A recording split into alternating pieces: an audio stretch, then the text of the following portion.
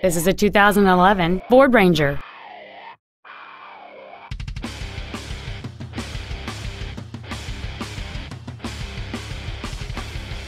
Its top features include a double wishbone independent front suspension, a low tire pressure indicator, traction control and stability control systems, aluminum wheels, and satellite radio.